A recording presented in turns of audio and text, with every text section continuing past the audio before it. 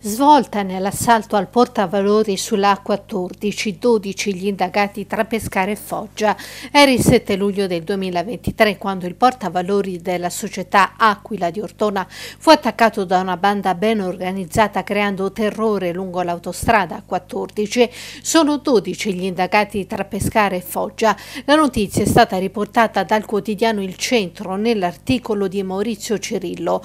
Panico tra gli automobilisti e soprattutto per i due uomini, scrive Cirillo dentro il furgone, contro il quale vennero sparati più di 30 colpi di Kalashnikov, sotto accusa da parte dei magistrati Anna Benigni e Andrea Papelia che seguono l'inchiesta, sono finiti due abruzzesi e dieci pugliesi che materialmente avrebbero partecipato alla rapina andata poi a vuoto per il tempestivo arrivo della polizia stradale che costrinse la banda a fuggire quando erano ormai riusciti ad aprire un varco nel furgone per portare portare via i circa 300.000 euro che vi erano custoditi.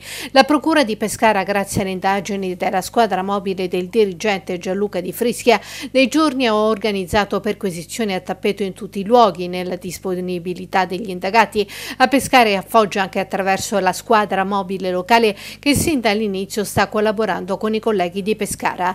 Grazie a preziose testimonianze dei residenti, gli inquirenti sono arrivati alla individuazione dei due che risiedono a Montesilvano, uno proprietario dell'immobile, 58 anni, originario di città Sant'Angelo, e l'altro inquilino di 60 anni nato nel Teramano. Tutto questo anche grazie a una serie di telecamere.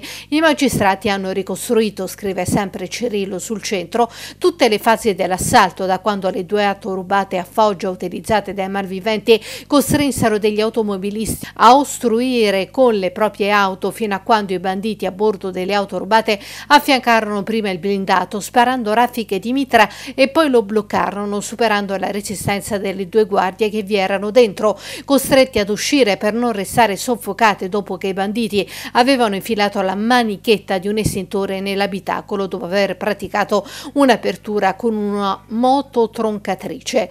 Quando erano un passo dal portare al termine il colpo, i banditi dovettero però resistere perché la polizia era ormai sul posto. Il furgone bianco usato per la fuga venne riconosciuto conosciuto da un agricoltore che stava lavorando i campi lungo la strada della fuga e permise agli inquirenti di arrivare fino all'abitazione dei presunti fiancheggiatori. Qui, stando alle indagini, parte del gruppo di banditi avrebbe passato la notte prima del colpo. Sarebbero arrivati con i vari mezzi e sarebbero ripartiti la mattina presto per andare a compiere l'assalto. Le accuse della procura di Pescara vanno dalla rapina fino al tentato omicidio.